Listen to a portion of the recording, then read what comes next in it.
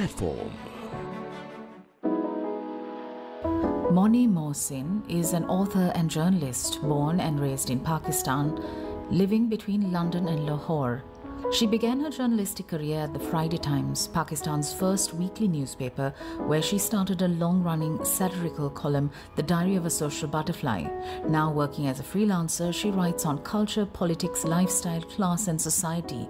Her journalism has appeared in The Guardian, The Times of India, 1843, Vogue, The Nation, and Prospect. Moni Mohsin has written five works of fiction, three novels The End of Innocence, The Impeccable Integrity of Ruby R., and Tender Hooks, aka Duty Free, and two books of collected butterfly columns The Diary of a Social Butterfly and The Return of the Butterfly. She also hosts a comic podcast called Browned Off with editor and critic Faiza Khan, in which they lift the lid on diversity or the lack thereof in contemporary Western culture. Good evening and welcome. My next guest is British Pakistani writer Moni Mohsin, famously the columnist of The Diary of a Social Butterfly. Good evening and welcome. Thank you. Um, you're a journalist turned fiction writer. How has this transition been like? Uh, when you're a journalist, you're um, used to reporting the facts as they are. Um, how has the transition been in, in, in terms of crafting fictional narratives? So I was always a uh, feature writer when I was a journalist. Um, so I was writing about culture and the arts and um, uh, society. Um, and I um, used to tell stories about people. They were always people driven. So that helped me, you know, because I met a lot of people. I learned how to write, how to, to describe my encounters, etc. Also, while I was a journalist, I started writing the Diary of a Social Butterfly as a newspaper column. So it began as a, um, a weekly column in a, a, weekly newspaper. And it was about, um, it was fictional, the characters in it were fictional, right. um, but it, they talked about real events in real time. So when I transitioned to fiction, all of that helped me. It mm. kind of, I'd already done the groundwork almost. Uh, in The Diary of a Social Butterfly, its uh, protagonist is a strong, outspoken woman. Um, how is this uh, um, not a reflection of Pakistani society, but how is this a call to Pakistani women to be strong, to be outspoken? So I grew up in a home um, with a very empowered mother who empowered my sister and myself as well. Mm. She in turn had been empowered by her grandmother who was one of just three sisters. So my great grandfather had no sons and he brought up her, uh, his daughters like, like men to make their own decisions, to be, to take positions on, on, on topics that they felt strongly about. So for me, it, it just didn't make sense to have a character who was not um, uh, outspoken, etc. And in women, uh, in Pakistan, I will say that although women don't have much authority, in, in many women don't have authority, but they do have power. Butterfly also, the, the, uh, her husband is the head of the house, he makes all the big decisions, etc. But she speaks her mind, she's cognizant of his ridiculousness as well. Mm. Um, and she is not afraid to point it out. The Pakistani women that I know are very empowered and very powerful, so yes, this does resonate. Um, uh, what, what is the role of humor in addressing serious topics? Um, you speak of gender dynamics, societal norms, cultural norms. My brief when I began writing the column from my editor was that he wanted me to deal with serious subjects but with a light hand. Mm. So I had to think of a way of doing it without lecturing and hectoring and preaching because that's so dull and nobody would read it. So I came up with this solution of, of integrating humor into it or using a humorous voice to raise these issues. And you know, when you have humor, people are more receptive and they are more forgiving mm -hmm. and uh, you can slide in the critiques and all the sort of um, the, the, the, the, darts, etc., uh, while pretending to be just joking, you know. And, and people read it, and then the whole idea of satire is that first you laugh and then you think. So that helps me. As a British Pakistani writer, um, how do you manage to um, reflect on the intricacies of Pakistani culture, um, honoring the nuances? Um, this is for, for the benefit of readers from within Pakistan and also the Pakistani diaspora across the world. Well, you know, I'm Pakistani diaspora now. Um, I was born in Pakistan. I grew up in Pakistan. I was educated in Pakistan. Um, and then I went for higher education to the UK. Um, then I returned to Pakistan. And I lived there for 10 years and I worked in this newspaper that I mentioned. It was called the Friday Times. And um, I got married, and, and, and while I was at Friday Times, I started the Diary of a Social Butterfly. Right. So it was already established. I'd already made the characters, I'd already discovered the voice, I'd already found the format. And I'd been doing it for several years before I got married. And then when I got married and moved to London, I just continued in the same vein. And because I go to Pakistan all the time, and I have family visiting all the time, etc. And so it hasn't been difficult to continue in, in the same vein. And because I guess it is um, authentic, the voice is authentic, the issues are current, it resonates with readers, um, diaspora, and Pakistani readers at home. Um, when doing my research for this interview, I, I, I, read that you host a comic podcast called Browned Off about realities surrounding diversity in contemporary Western culture. Speak to us about it. So during COVID, um, you know, we weren't being, uh, we weren't able to go out very much in in uh, London. We weren't allowed to meet people. So I have a very dear friend who's an editor, and she and I think the same on many topics. And I said to her, um, she was an editor at Bloomsbury. Her name is Faiza Khan, and I said to her, Faiza, wouldn't it be fun to do a podcast? And she said, Well, there are so many podcasts. What can we bring to it? I said we can bring our Desi voices to it. Mm. And so we decided to do this podcast, which is about diversity or the lack thereof mm. in, in Western culture. So, for example, they will tell you things like, uh, you know, you, you write to a, uh, an agent and you say that I, um, I'm a, you know, Pakistani woman and I want to um, write something. And they'll say, well, actually, would, your work is nice, but I've already got a brown I've already got a brown client, a female brown client. Or somebody will say to you, an editor will say to you, yeah, yeah, your books are fun because they're, they're humorous, etc. But you know, our readers don't like humor from the subcontinent. They want dark, deep stories from the subcontinent. Mm. This was more true before, nine, uh, before uh, BLM, uh, Black Lives okay, Matter. Okay. Uh, and but now people are afraid of saying those things openly. But it's still, mm. but there is still that sort of belief and feeling because recently I approached somebody to um, pitch. Um, butterfly you know in for a television series and she said yeah yeah this is fine it's great but you know we need to have white characters in it otherwise nobody will watch it wow. so So that's why we started our podcast mm. because. But that has been proven uh, not to be true because of we've, course. we've seen um, Mindy Kaling's um, Netflix series. But Never Have I Ever with all brown characters. Yes. And it was phenomenal. Yes, yes. But I think uh, you know the English public is still behind that and and, and in, in, that view. Sure. Um, so uh, you know recently they made. Um, um, suitable boy Mm. Do you remember seeing that on BBC? Mm. It was all in English. You know, they could have used much more Urdu and Hindi, etc., yeah, to make yeah. it more sort of. Although it had brown characters. Yeah.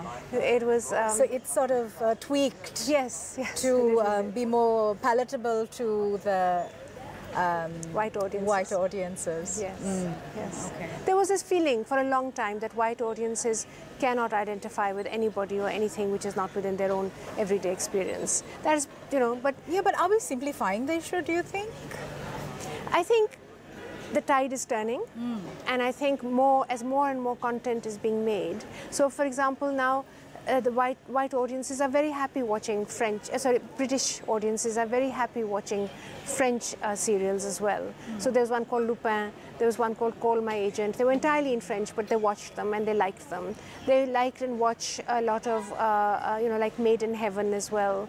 But these are still niche programs. They're basically for the uh, um, diaspora brown people. But again, the diaspora is huge. Yeah. And um, so, yeah, we felt that there was there was a market and that you know these voices need to be honored and treated with the same kind of seriousness that that other voices are.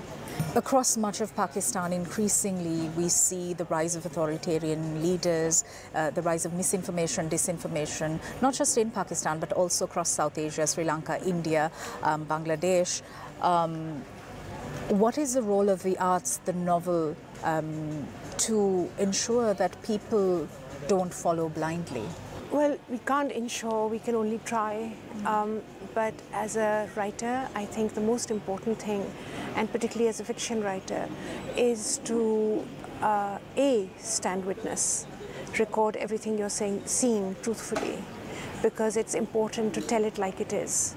Um, that's one thing, to be honest, to be authentic, and to be as fair as you can be. Uh, and second, I think, is to ridicule it you know, because it's only when people are. The first thing that a dictator does when he comes to power is to, to go after the poets, to go after the novelists, to go after the cartoonists, to go after the stand up comics, and they go after cartoonists and stand up comics because they make fun of them. And when you make fun of a, a, a populist leader, you show people exactly how ridiculous he is or she is. And that makes that that somehow or the other manages to uh, erode their power. Mm. And, and, and that is something they can't bear, which is why no jokes are allowed, no humor is allowed, uh, no satire is allowed, um, and, and poets are exiled, writers are imprisoned because they fear us. Yeah. And so it is important that we understand our power and use it. All and right. use it wisely. Yeah. Fabulous. Thank you very much, Moni Mohsin. This was lovely. Thank you. Thank you very much.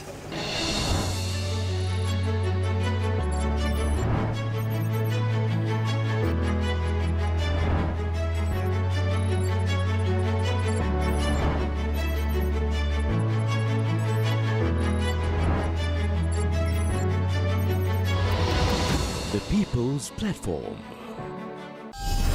TV1, Sri Lanka's premier infotainment channel. In support of Sri Lanka's unique tradition of art and design, presents The Genius of the Place, the story of Geoffrey Bawa, a film by Abdel Aziz.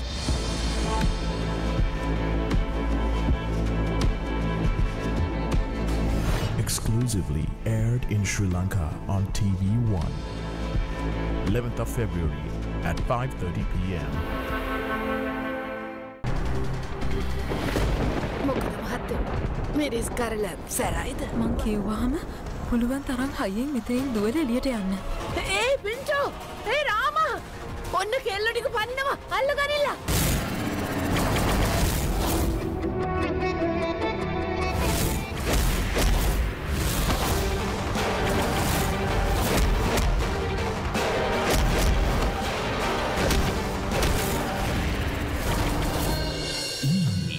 අද රාත්‍රී නවයයි තිහට.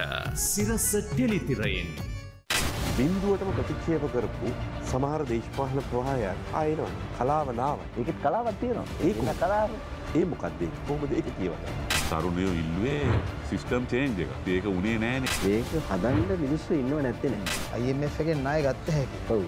ආර්ථික කඩාවැටීම. මේ සංස්කෘතික කඩාවැටීම සිදුවනන් පස්සේ අපි කාගෙන්ද නයට ගන්න කියන ප්‍රශ්නය තියෙනවා. හරි කරන කාට හරිගීමත් දීලා කියක් හරි හොයාගෙන ඉන්න නම් පුරුෂාර්ථය හැදිල තියෙන ජීවිතේ එතනින් එහට යගේ හිවමන් ලයි් එකේ ගමනක් නෑන. මිනිසු ප්ලෑන් කරපු ජීවිත නැතිවෙලාන් හැමෝටම තමන්ගේ ජීවිතය අහිම ප්‍රජාතන්ත්‍ර වාදය දරිංගතාවයක් කිය පවටි demo.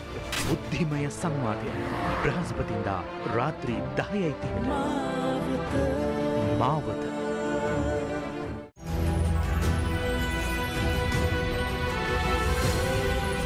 TV one. TV for life President urges everyone to unite in the pursuit of the nation-building dream. SJB stages walkout during President's policy statement in Parliament. Chandrika Bandaranaike to lead Podujana Eksat Peramuna. Multiple factions claim Election Commission has the right to call for elections and not the President.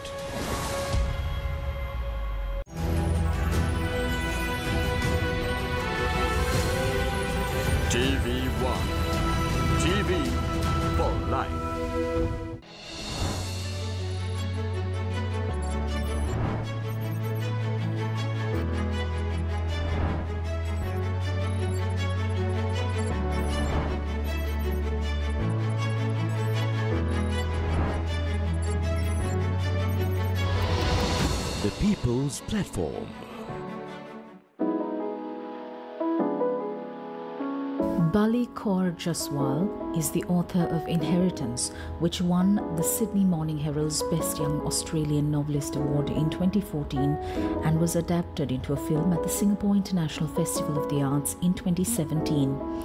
Her second novel, Sugarbread, was a finalist for the 2015 inaugural Epigram Books Fiction Prize and the 2018 Singapore Literature Prize. Her third novel, Erotic Stories for Punjabi Widows, was released internationally to critical acclaim in March 2017.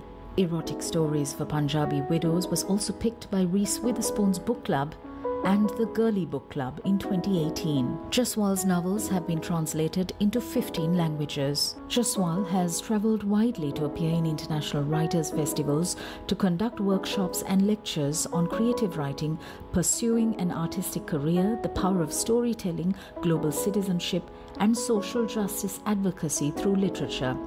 She has also completed her PhD in South Asian diaspora writing.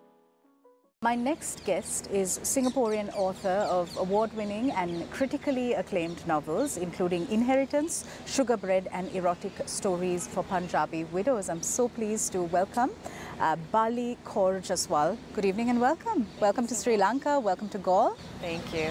Um, Balli, through your writing, you delve into the complexities of cultural identity.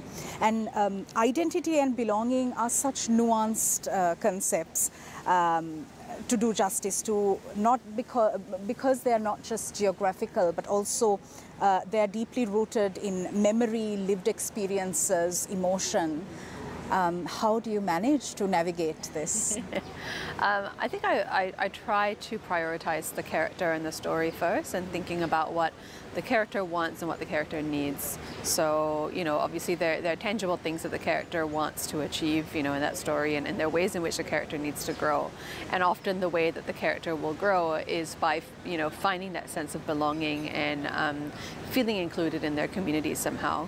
My characters usually start from a point of being excluded and um, having to sort of find their way back um, or thinking that they have to find their way back, but then realizing actually that communities need to expand their definition of what is acceptable and their definition of who, who gets to be included. Um, in most of your novels, you advocate for women's agency through your storytelling, and, and your, your characters are strong, empowered women. How important is this portrayal um, for women who are reading this? I do want, I guess, I, I, want readers, not just women, you know, all readers to see what's possible. Absolutely. I want um, readers to kind of um, follow the growth of a character who starts off not having much of a voice and then gains that voice. So I think it's very important to have those characters. They often don't start from a place of being empowered and they find empowerment sometimes in surprising ways. Uh, your third novel, Erotic Stories for Punjabi uh, Widows, was critically uh, acclaimed. Uh, it's also deeply human. Older Punjabi uh, Sikh widows speaking about their sex lives yeah. in, a, in a context where um, we are taught to shame ourselves, where sex is so taboo. Yeah. So, um, how did you overcome these controversies and how was it received um, initially? The novel was very positively received. I would say even by members of the Punjabi diaspora, as far as I know, as far as what was fed back to me, uh, was very positive. Like I got a lot of um, uh, positive messages from people um, in India and also in the diaspora. That was exciting. Of course, there's going to be backlash, and of course, there are going to be people who are not, um, you know, pleased about uh, women talking about, you know, sexuality and, and taboos. That's what the novel is about, though. The novel is exactly about that discomfort. So it's interesting when there are people who are saying you shouldn't say this. That's exactly what the novel is trying to tackle, and that's actually sort of proving the novel right in a way that, that, that there's this culture that needs to change and need to be more accepting. You believe in the power of storytelling, global citizenship, and social justice advocacy through your storytelling uh, and literature. Uh, how does this work for you? Storytelling, you know, it's it's it's so much of our identity, so much of who, who, we are and what we know about each other and ourselves is based on stories. You know, they, they, there's this sort of idea that, and it's very true, I think that at the end of the day, all we have are stories. All we have are memories. All we have are, you know, the, the, um, the narratives about who we are, the places we came from, and how things have changed. Um, and and I think that you know in a world that's that's increasingly, in some ways, con- very hyper connected, but also very isolated and very deeply disconnected. I think you know one thing that can um, you know move us towards a better understanding of global citizenship and more embracing of global citizenship is to listen to each other's stories and especially the nuances in those stories. Uh, the protagonists in your novels are women who learn to empower themselves. Um, do you see a disconnect between your stories and women in real life the world over? First, I did when I first started writing. I think I thought, you know, I, I, want to create an ideal because I don't, I'm not seeing this enough in the world. And then since I've written, um, I've heard stories from a lot of women who, you know, who have come to tell me, you know, ways in which my, my novels sort of resonate with them, ways in which like they rebelled in small ways or even in quite big ways, that they kind of chose their own path um, to happiness and, and um, you know, le- left the community expectations behind um, and, and sort of created, yeah, cre- created these, these, these identities for themselves that are fully kind of authentic uh, and, and not so much based in shame and taboo. So I think, I, I don't know if I'm necessarily creating, uh, or, or, or, I don't think it's that much of a stretch anymore. I think the, these stories absolutely exist, and actually, I'm discovering them. I'm, I'm finding them. Okay. um, what's next in terms of um, taking on taboos? um, I, I'm really interested in taboos around motherhood. Um, I've written mother characters, but mostly from the perspective of, of daughters, and right. and now that you know i am a mother of two small children. Um, I'm I, I think it, you can't win as a mom. I think you're always you're always being shamed. It's damned if you do and damned if you don't. Uh, I think that the pressure that, that is put on mothers is enormous, and I'd like to see. Um, I'd like to kind of take a look at the intersections between being a mother and then being an immigrant, or being a mother and being South Asian and being part of a diaspora, because a lot of those double standards of motherhood are also placed on immigrants. What's the role that men have to play in this whole paradigm? They, you know, they, men um, can speak out against the patriarchy. Men can. Um, challenge each other to think, you know, differently of women. They can challenge each other to stop the policing of women and to and to um, sort of examine their their views and the ways in which perhaps they um, hold women back. Yeah, so I, I, think there's a lot that men can do, and actually I've gotten a lot of responses from men. Uh, in particular, uh, I've gotten a few messages from Punjabi men who have written to me to say that they actually. Um, found themselves reflecting on their relationships with their sisters and their female cousins and their mothers a little bit different after reading my novel erotic stories for punjabi widows because they hadn't really thought of them as wanting more than what they were given. Yeah so I, I, I that's a huge win for me. I think yeah. that that's exactly that's exactly why i write. All right yeah. fabulous. Balli kaur jaswal it's been an absolute pleasure. Thank you very much. Thank you for having me